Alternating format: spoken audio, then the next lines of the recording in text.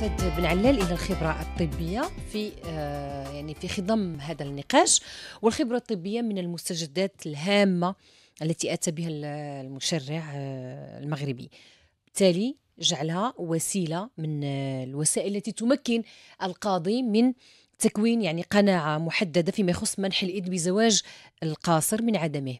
إلى أي حد ربما نجحت هذه الخبرة الطبية في تقليص زواج القاصرات أو القاصرين. آه، بالفعل أستاذة خديجة الخبرة الطبية هي واحد الركيزة أساسية واحد مستجد اساسي نعم. مستجد كيتم الاعتماد عليه. نعم. وكيتم الانفتاح على مدونة الأسرة على آه، المواد ديال القانون المدني وعلى الخبرة المجرى المجرى طبقا للقواعد ديال الاستقاء ديالها من القانون المدني القواعد العامة للقانون المدني.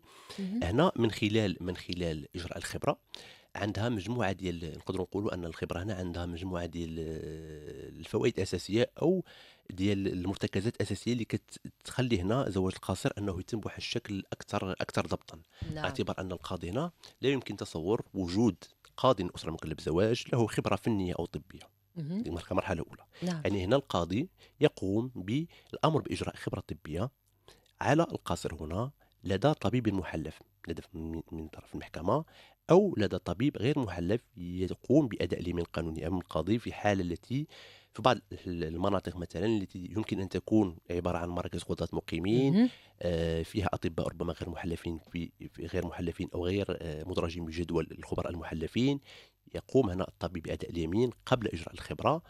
يركز هنا الطبيب بشكل أساسي على مدى القدرة الجسمانية هنا والفيزيولوجية للقاصر من أجل على الزواج من عدمه. نعم على تحمل الزواج. في الحالة هذه كيقوم هنا بواحد الفحص اكلينيكي ويختمه هنا بواحد بواحد الإفادة المتعلقة بكون هذا القاصر هل له من القدرة الجسمانية والفيزيولوجية ما يؤهله للزواج أم أن القدرة الجسمانيه ديالو ما تسمح. أن لا تسمح بالزواج؟ بناء على الإفادة ديال الخبير. ونجحت يعني هذه الخبرة الطبية نجحت في تقليص وعدم يعني آه، ساهمت بشكل أساسي في عقلنه زواج القاصر. ساهمت بشكل أساسي في ضبط هنا زواج القاصر وفي تأسيسه بشكل علمي.